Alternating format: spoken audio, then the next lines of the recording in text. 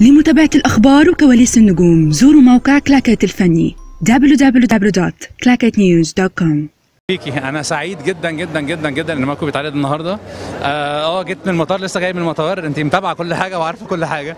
آه الحمد لله بجد أنا متحمس جدا إن أشوف الفيلم. أصل أنا آخر مرة شفته كان في كتير يعني كان في لسه قدامهم شغل كتير بس كانت نتيجة هايلة. فيا رب النهارده أكيد أحلى وأحلى كمان. البرد اللي كنتوا بتصوروا فيه وانكم تجروا على الشط علشان تدفوا تعمل إيه؟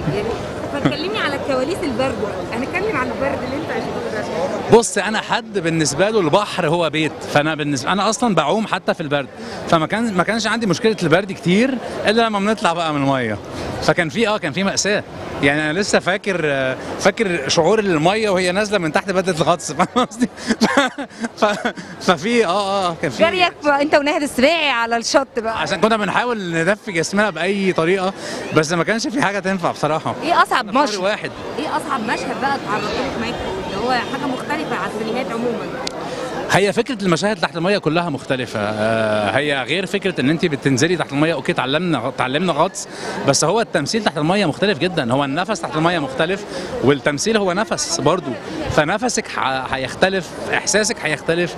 فكنا بنكتشف حاجات أنا وبسمة مثلا في مشاهدنا مع بعض أو أنا ونودي برضو كنا بنكتشف حاجات إن إحنا آه الجملة دي تتقال كده بس هي اتقالت كده. يعني كان إحساسها في وقتها الطبيعي في ظروفها الطبيعية كده. فخلاص بقى نسيبها. مع إنها فوق المية كانت هتطلع مختلفة كومبليتلي يعني. فدي حاجة تجربة جميلة جدا.